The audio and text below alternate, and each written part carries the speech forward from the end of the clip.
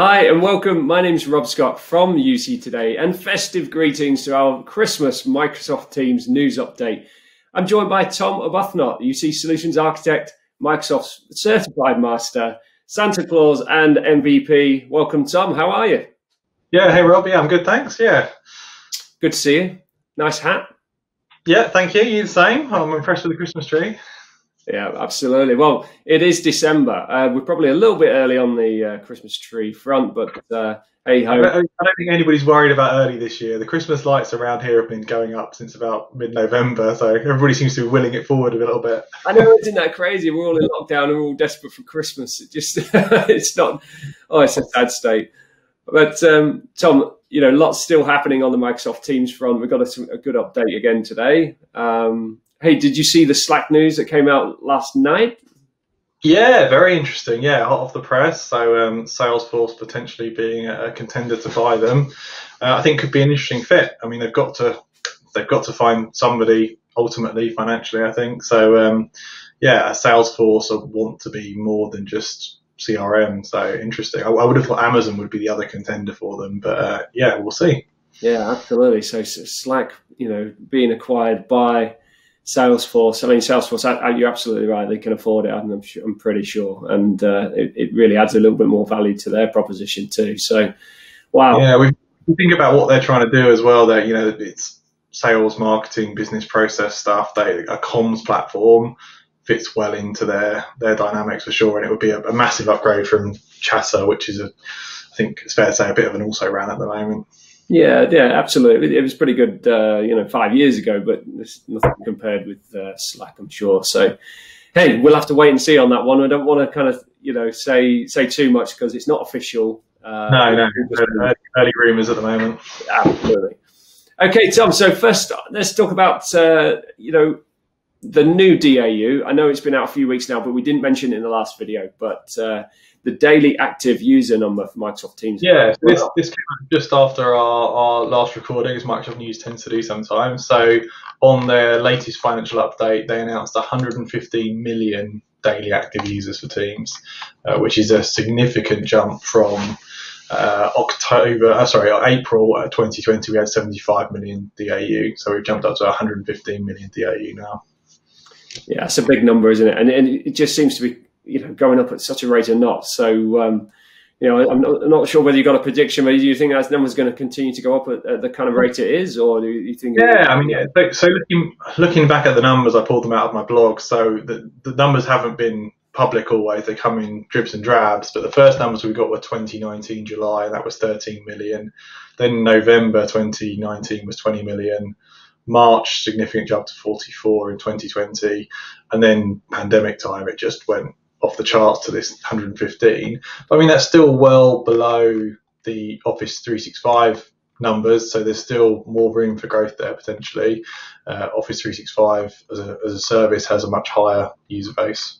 Yeah, absolutely. So, yeah, addressable market is potentially still huge for Microsoft going forward. The other thing Microsoft tried to do in that announcement, and we'll see if they stick with it, is they tried to land this new metric called daily collaboration minutes and they're trying to say the sum of all user minutes in a 24 hour period across meetings, chat, document collaboration, co authoring, so that they're trying to shape a metric that says to the conversation, Teams is something you live in for your day, not you jump in and do your meetings and jump out.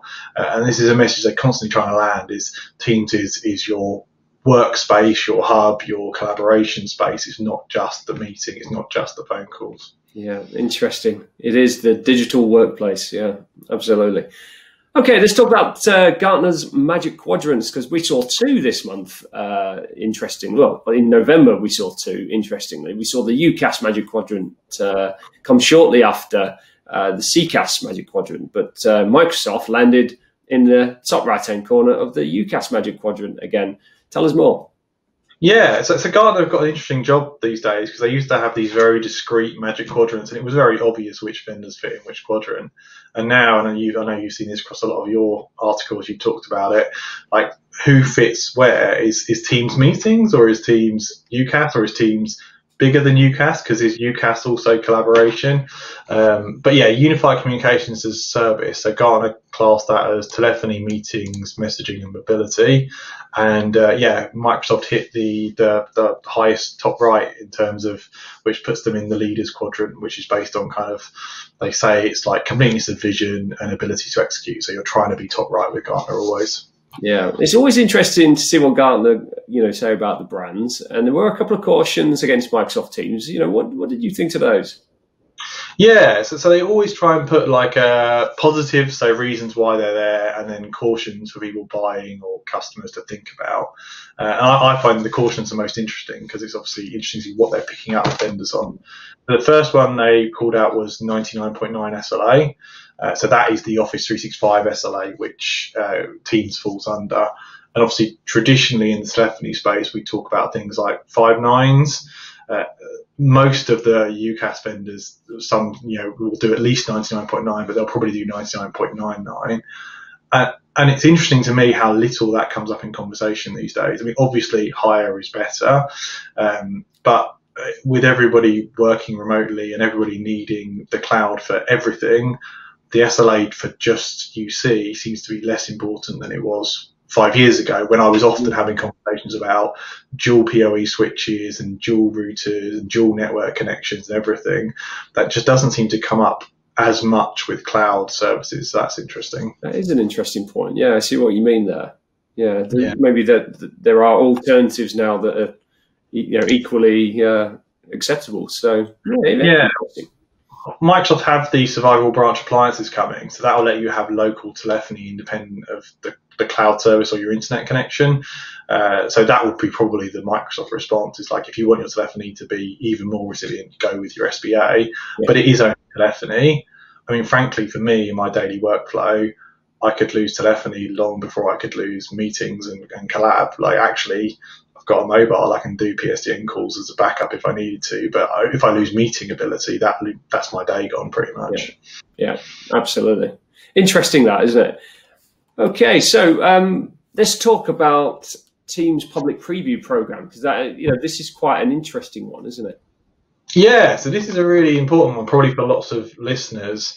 Uh, Microsoft forever have had an Office program where you could elect to be in like the early ring or the fast ring. It's had about a dozen different names, um, but the basic idea is you're kind of on a beta early test version. So you get to test, you get to give feedback, but also you get to see what's coming before your organization sees it. So really important with this pace of change to be able to comms to users, hey, this button's moving, this new feature's coming, that kind of thing. Uh, and there's been no ability to do that in Teams. So even when you elected in Office to be in the, the early ring, you couldn't do it in Teams. So now, quite a few years after Teams has been been released, we're actually going to have an option to tick selected users into this uh, what's called Teams Preview, and they will get features ahead of everybody else. Uh, they don't they're not it's not the technology adoption program where you have to give lots of feedback to Microsoft and be heavily engaged. It's just tick a box, put your 10 users in IT in or, or users across the business to get better feedback. Uh, but it's a great way for anybody who's more on the cutting edge to understand what's coming down the pipe. Yeah, I completely agree. And, and I'm a small business and we use Microsoft Teams uh, here in the UK. And one of the frustrating things is we, we're, we're talking about these new features on UC today, um, but we, we don't get them for quite a long time. So it'd be nice to you know jump in on those. Uh, that, so every, everyone in the that gang's going to be on preview then. Yeah, absolutely, we'll be there. yes. Great stuff. Next up, we wanted to talk about the background noise in meeting. Yeah. Yes, background noise. This is such a hot topic across all the vendors. They're all trying to, to nail this. So Microsoft have now added, uh, it was announced quite early this year, I think it was announced March, but it's now rolled out that you can have AI noise suppression. So what this is doing is using compute cycles to dynamically remove background noise, things like uh, traffic noise or you know shouting or whatever it is uh, in the background you're meeting. And it seems to be so hot at the moment because everybody's working from home. There is a lot of background noise. Yeah, it, it is such a hot topic, isn't it? And uh, we saw um, Cisco uh, acquire uh, Babel, you know, to get that technology, and they, they kind of planted that into WebEx very very quickly because uh, they obviously they saw uh, a, a, requirement for it. I think Zoom has done it as well, and now Cisco, uh, sorry, now Microsoft's done it. It's, you know, it seems to be, you know, they don't do these things for no reason, do they? So yeah, well, we're definitely anecdotally seeing a lot of people move from headset to speakerphone, like personal speakerphone, working at home. Yeah. Uh, because of kind of headset fatigue of being on it all day, every day. Yeah. Um, so that increases the likelihood of background noise. So this kind of tech can really help there, definitely. Yeah, absolutely. So uh, well done, Microsoft. And next up, we talk about the uh, very sad moment in uh, yeah, yeah. Um, Skype for Business Online is retiring. Tell us more. Yeah, so, so Skype Business Online is retiring 31st of July 2021. That's hopefully not news to anybody anymore. Um, it's been announced a few times. So that, that clock is really ticking now. Um, but Microsoft are actively pushing it out of the door um, in terms of the admin center. So the admin center, as of this month, December, is going to be taken away, and you'll have to admin your remaining Skype Online users through the Teams Admin Center or through PowerShell.